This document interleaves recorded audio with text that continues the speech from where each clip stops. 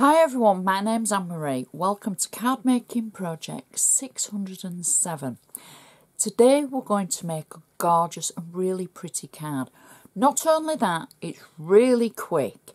And if you forget birthdays or you suddenly have to make a good luck card or a thank you card, I think this one is ideal. You would be able to tweak the sentiment and just go for it add your layers and just don't even think about it. There's also a section in it that if you're making something really quick and easy, you don't have to include. And I'll tell you more about that as we go along. I'd like to show you what we're going to use. Now, everything I do use I should put in a detailed list on my blog, so please be sure to check it out. Um, I normally only show you the stamps and the dies, but I wanted to show you this because I think these are so pretty. These are the Anna Griffin lace border stickers. And basically the flat stickers that you can either use together to decoupage one over the top of the other, or you can use separately and make something unique, making them stretch twice as far.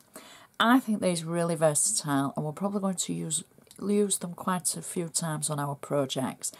And this card today makes them look wow and easy. So don't, you know, don't be put off. Try these. They're going to work for your cards, your scrapbooking, your mini books, your journaling. They're just great stickers and they've got good stick to them as well. So the dies we're going to use, now this is the little section, you don't have to use this section. So if you've only got the lace border dies, you can still make this, um, sorry, the lace border stickers, you can still make this card. I'm adding an extra section to it, um, and when I get to it, I'll say, you know, you don't have to add this bit. But for mine, I'm going to use the lace border dies, both the shadow layer of this one and the ornate layer. But as I say, you don't have to. These work so well with the lace border stickers because they're the same design. So if you've got both, good on you. If you haven't got both, you've either got just the lace border stickers or you've just got these, you could still make an alternative to the card. So, you know, don't get too um, hung up about it. So those are the dies. Now the card base that we're going to work with is a 6 by 6 inch square card just in ivory and before we go any further I've marked where 3 inches is on the front. I know we don't do a lot of measuring but I just wanted to make a mark where the centre was.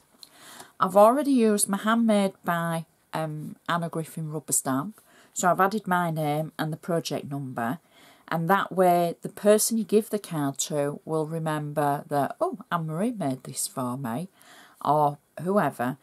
I don't add project numbers on, obviously, onto the cards that I um, send to people, but I do for this just to keep me in check because um, my brain is a bit fuzzy at times and I'll be thinking, what number are we on now? But you see, it keeps me in line. I'm using my bone folder to make sure I've got a nice sharp crease along the card edge just to make sure it's going to stand proud and stand up and look nice and professional. Now the inside of this card is kind of as quick as the outside. Um, it's just such a pretty one and to be fair I've not included a sentiment for it because I thought, you know, not always do you want to include a sentiment, you just want to write a long message. So this would be perfect for that. Plus it's a quick card. So the first thing I've done is I've cut a piece of cardstock from the Damask cardstock collection from Anna Griffin. And the cardstock is 5.8 by 5.8 inches so that it gives a nice border for the inside. I've got flat double-sided tape on the back and I'm simply going to pop this through the centre of our card like so. There we go. Next, I've got a piece of ivory cardstock, just plain ivory. I've not inked the edges. I've not done anything to it apart from cut it to five and a half inches by five and a half inches so that it sits in the middle of our card on the inside. Again, flat tape on the back of it. And all we're doing is popping it in the card like so. There we go. Now the last thing for the card which is going to make it, it's just going to make it jump out at you I think.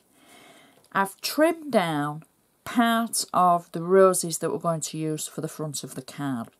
Now the lace border stickers come in 12 inch long strips so I've cut some in half to use for the front. So this is half of the excess that we're not using for the front, so I'm not wasting it.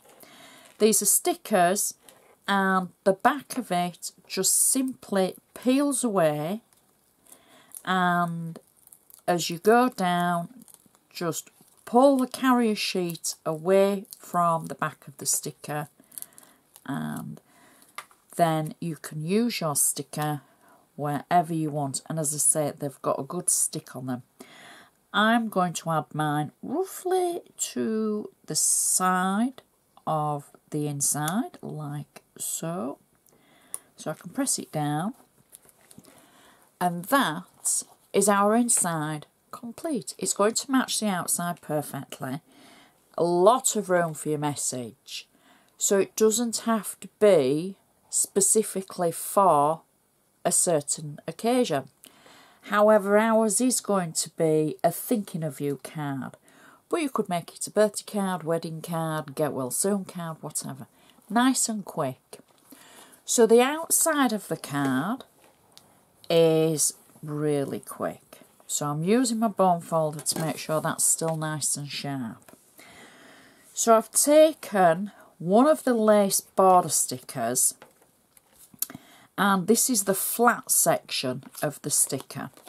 All I'm going to do is peel the back away and I'm going to add this to the edge of our card. Now I've already trimmed mine down to fit. You'll notice I've not even put a cardstock layer on the back of the card because it doesn't need it. So where I've cut this lace border sticker in half, I'm placing the second half at the other side of the card. I am going over the edge, so you don't have to, but I am taking it just slightly over the edge.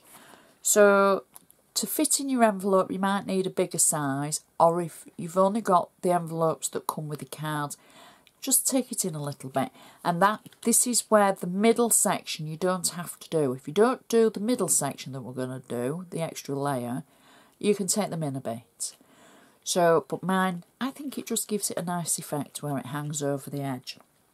Now for the middle of the card I've used the actual lace border die set the shadow layer and the ornate layer I've used the damask cardstock and I've simply cut it in half. So I've die cut it and then cut it in half. If you don't have the dies, this is the little bit you don't have to do. And I'm just positioning it just so it's touching the flowers at the side. And this is why I wanted the mark in the middle. So I've die cut, um, I've got the second piece I should say, and again I'm just adding it so that it kind of touches the flowers like that. So we've stretched the shadow layer just a fraction, uh, maybe even half a centimetre. So then the ornate layer I've cut out in pink metallic cardstock and I am just going to put that over the previous layer. Now we're only going to see a touch of this. It's just giving it a hint of something extra. So again, this layer I cut in half and it's just going over the shadow layer, leaving that little gap in the middle.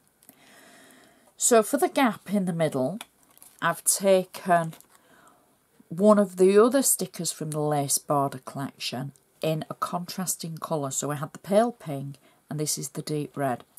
Now you'll see as I place it over the middle, because I've got 3D foam on the back of this, instead of using it as a sticker, it's going to cover most of the die cut that we've just had, but it just leaves a hint of it at the edges. You can see where it just pokes out. So that's the little section. If you don't want to use it, you don't have to use that layer because it will still work. You'll be able to bring the base stickers in a little bit and then the centre one will still be on 3D foam and you're still going to get a contrast. Next, we can add the next layer of the stickers. So this is the still flat stickers like I showed you for the middle, but instead of using them as flat stickers, I've added 3D foam. And all we do is marry up the stickers over the top of the flowers that are on the edges. So then you're making decoupage of those flowers. And we're going to do the same at the other side. Just add the flowers over the previous layer, both with 3D foam on, so they stand proud. Then in the centre, we've got the red roses as well, again on 3D foam. So we just pop these over.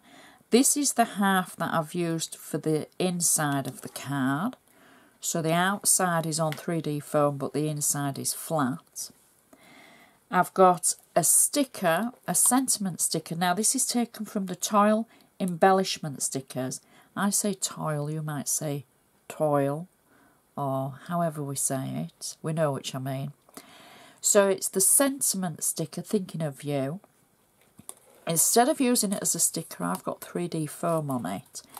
And I'm just going to position it over the top of the centre of those roses.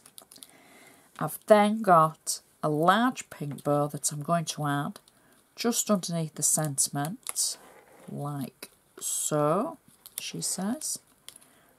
And that is our card finished.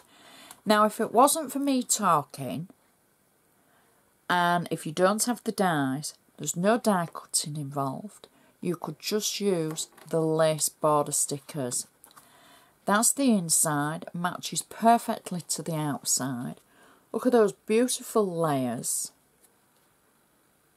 And stands up perfectly. It's definitely going to look great on a mantelpiece, is that. It's just so pretty. It really is. I love those stickers. They're just so gorgeous with the flowers and the layers and the lace. They are going to work on so many different projects. Can you imagine paper folding using those? Oh, yes, a little bit of paper folding either side of the lace. So don't be scared to change the sentiment on anything that you make. If I make it thinking of you and you prefer to make it for a, a wedding anniversary, etc., um, please check the blog and look at the extra photos that are on there of the project. Nice close-up photos as well.